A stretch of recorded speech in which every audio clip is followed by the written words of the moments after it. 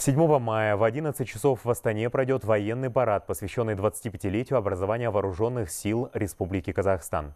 Попасть на площадь у монумента Казах-Еле можно будет только по пригласительным билетам. В связи с проведением шествия с 6 утра до 15 часов дня будет ограничено движение по улицам столицы, близлежащим к проспекту Таульсиздек. Кроме того, на этот период будут изменены схемы движения 15 автобусных маршрутов.